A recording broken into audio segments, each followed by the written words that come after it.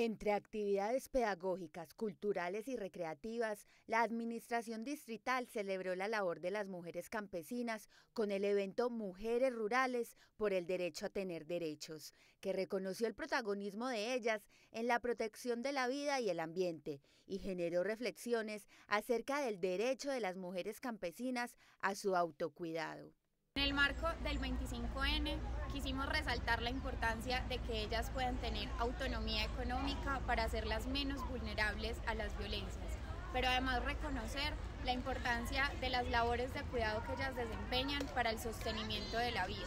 Así estamos construyendo una Medellín futura que abraza a las mujeres rurales y a los corregimientos.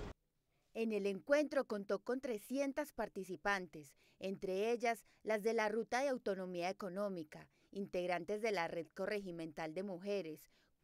colectivos y asociaciones de mujeres, presidentas de las juntas de acción comunal y edilesas de las juntas administradoras locales, mujeres jóvenes con orientación sexual diversa, mujeres participantes de las mesas campesinas agropecuarias y lideresas de diferentes procesos del distrito. La Secretaría de la Mujer nos ha aportado muchos conocimientos y a través de ellos aprendido a amar y a valorar el campo, las siembras saludables, eh, que no sabíamos mucho sobre el tema y nos han aportado todo ese conocimiento y a raíz de esto también nos han dado muchos insumos para poder cultivar sanamente desde los hogares y en las fincas que corresponden a nuestras compañeras. Una de las acciones de incidencia de la Alcaldía de Medellín en los territorios de mujeres campesinas es la redistribución de las labores del cuidado.